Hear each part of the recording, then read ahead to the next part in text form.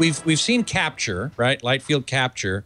Uh, how about display? Is there anything in the display area that is particularly uh, appropriate for light field files? Uh, might we see? Uh, I mean, 3D is one obvious application. VR with two separate screens, or you know, stereoscopic.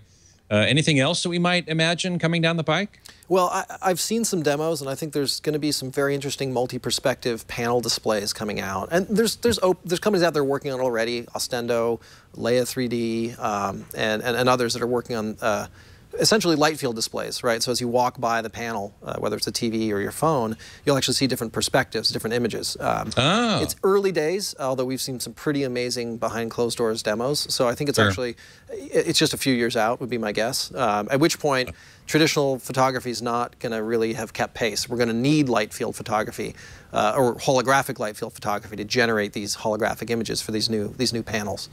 Um, is this is this the same or different than uh, auto stereoscopic?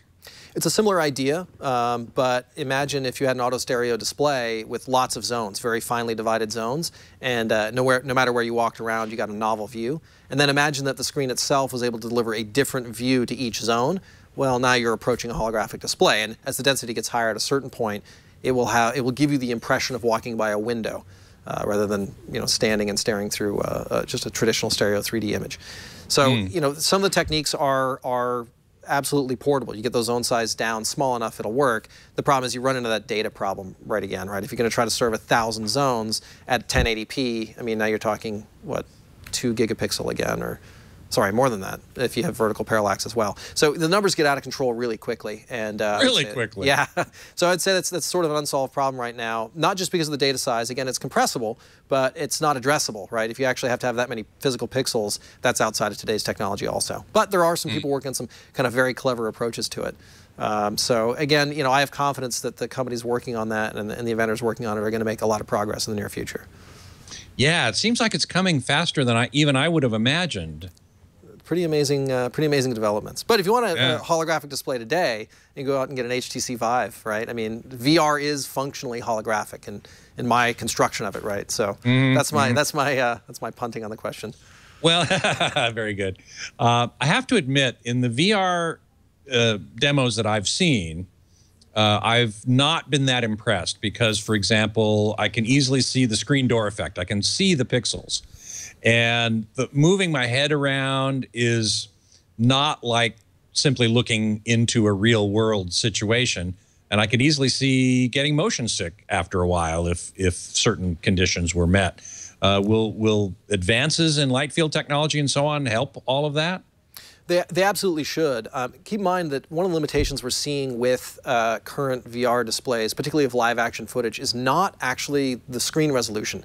Uh, you can see the individual pixels uh, in some cases, but most often when you're seeing things look pixelated, it's because uh, you're taking maybe a 4K file, maybe a little smaller uh, if it's downloadable, much smaller if you've, if you've been streaming it, and then you're stretching that rectangular image out over the entire 360 sphere, and then the individual display you're looking on is only showing you a ah. subset of it. So in practice, you're actually addressing many fewer pixels than those screens are capable of, uh, particularly for like the Gear VR. Um, they are using an onboard H.264 decoder chip typically to decode the video, so you don't just completely drain the battery. Well, that chip is, is sized for the inherent native screen resolution. So if so you're kind of you're stuck. The pipe is only so big. When you try to push spherical video through that pipe and then window in, you're probably an order of magnitude below what the screen can actually display. If you want to see what the screen can really do, you can load up still images. There's a sort of a still image photo gallery. Unfortunately, they're not stereo. Optically, it's difficult to shoot 360 stereo. Um, there's some companies doing a lot of heavy tech around that, but in mm practice, uh, the, the photo gallery that's out there is mono but it's it's much higher resolution. It's not it's not perfect, particularly from a home theater geek's perspective. You can still hmm. see the individual pixels if you look, but it's a lot lot lot higher resolution than the current video uh, uh, experiences that are out there right now. And that's just you, you a know, fundamental technology limitation. Yeah, I hadn't thought of that before, that you're taking basically a rectangular image and stretching it out. So you're, you're, and so, and you're looking at a window and what you're seeing is many fewer pixels than, than you would otherwise. Uh, so that may very well be, uh, that, that makes a lot of sense to me and I hadn't thought of it before. Yeah, there's also another effect which uh, I realized since the last time we spoke. I was talking to my co-founder about this, and there's there's an unfortunate property that if you think about a traditional 2D screen and a 2D video codec, uh, you actually know where every pixel's going, right? So if you've got a 1080 display and you're going to serve 1080 video, it's a one-to-one correspondence. If you Yeah. upscale or downscale, you know, you've got some algorithm to upscale or downscale, and, and it gets a little soft, right? Or maybe it's not, not quite as high quality. Well, with VR, you actually never know the exact angle the person's going to be looking at, so every pixel is always interpolated. And that's actually a major problem. And as the resolution gets closer to the actual screen displays, we're actually going to see a flattening out of apparent sharpness because it's still going to be interpolated and it's going to get sort of anti-aliasing effects.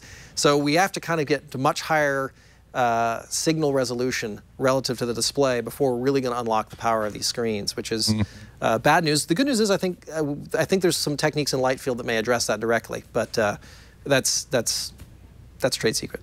That's not. well, we don't want to. We don't want to reveal That's any right. trade secrets. Yeah, that's right.